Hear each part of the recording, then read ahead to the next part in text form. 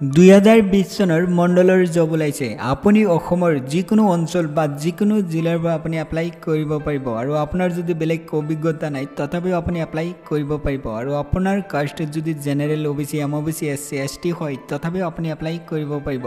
আৰু আপোনালোকৰ বাবে আৰু এটা ভাল খবৰ হ'ল আপুনি ফ্ৰী অৰ্থাৎ বিনামূলীয়াকৈ এপ্লাই কৰিব পাৰিব। যদি আপুনি এতিয়ালৈকে Assam job updates YouTube channel subscribe কৰা নাই তেতিয়াহ'লে এতিয়াই ছাবস্ক্ৰাইব কৰক তেতিয়া আপুনি অতি সোনকালে লাভ কৰিব নতুন নতুন খবৰ। প্ৰথমতে জানি লওক ক'ত ভেকেঞ্চি ওলাইছে। ইয়াতে চাই লওক ডি চি অফিচ কামৰূপ। ইয়াতেই ভেকেঞ্চি ওলাইছে মণ্ডল পোষ্ট এইটো হ'ল ডি চি অফিচ আমিনগাঁও। ইয়াত জনাই দিছে ডি চি অফিচ আমিনগাঁৱত ভেকেঞ্চি ওলাইছে।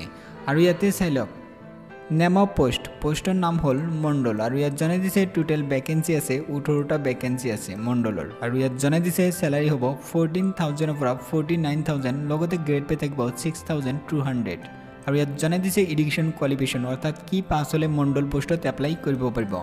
মেট্ৰিক পাছ হ'ব লাগিব লগতে ছমাহৰ আৰ চি চি ট্ৰেইনিং কৰা হ'ব লাগিব গুৱাহাটী দক্ষিণ গড়ৰ পৰা। তেতিয়া মণ্ডল পোষ্টত এপ্লাই কৰিব পাৰিব। যদি আপুনি মেট্ৰিক পাছ হৈছে এপ্লাই কৰিব নোৱাৰিব।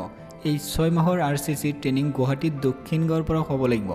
এইটো হ'ল মণ্ডল কোৰ্চ ছমাহৰ ট্ৰেইনিং হয়। যিসকলে মেট্ৰিক পাছ হৈছে সেইসকলে মণ্ডল কোৰ্চৰ এডমিশ্যন ল'ব পাৰিব।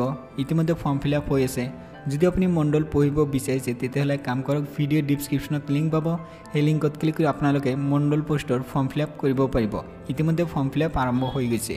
ভিডিঅ' ডিছক্ৰিপশ্যনত লিংক দিছোঁ সেই লিংকত ক্লিক কৰি আপোনালোকে ষ্টেণ্ডাৰ্ড ফৰ্ম ফিল আপ কৰি মণ্ডল কোৰ্চত এপ্লাই কৰিব পাৰিব।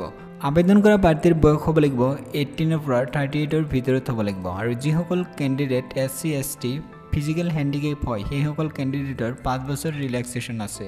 আৰু ইয়াত জনাই দিছে এপ্লাই মোড অফলাইন যোগে কৰিব লাগিব। আৰু ইয়াত জনাই দিছে এপ্লাই কৰাৰ সময়ত আপোনালোকৰ ষ্টেণ্ডাৰ্ড ফৰ্ম লাগিব এইটো ফৰ্ম মোৰ ভিডিঅ' ডিছক্ৰিপশ্যনত লিংক পাব সেই লিংকত ক্লিক কৰি আপোনালোকে ডাউনলোড কৰিব পাৰিব। তাৰপিছত self address self attested all certificate লাগিব এডুকেশ্যন কোৱালিফিকেশ্যনৰ।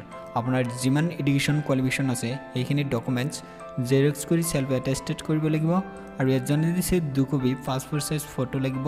তাৰপিছত ছেল্ফ এড্ৰেছ ইনভলেভ লগতে পষ্টেল ষ্টেম্প যিটো আমি ডাক টিকট বুলি কওঁ। তাৰপিছত ইয়াত জনাই দিছে ছিলেকশ্যন প্ৰচেছ হ'ব কম্পিউটাৰ টেষ্ট হ'ব তাৰপিছত অৰেল ইণ্টাৰভিউ হ'ব।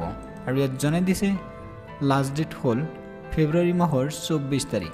আপোনালোকৰ সুবিধাৰ বাবে মই ভিডিঅ' ডিছক্ৰিপশ্যনত লিংক দিছোঁ। সেই লিংকত ক্লিক কৰি আপুনি গোটেই তথ্য জানিব পাৰিব লগতে ষ্টেণ্ডাৰ্ড ফৰ্ম পাই যাব। ভিডিঅ' ডিছক্ৰিপশ্যনত লিংক দিছোঁ এতিয়াই চেক কৰক। যদি ভিডিঅ'টো ভাল লাগিছে লাইক কৰিব শ্বেয়াৰ কৰিব।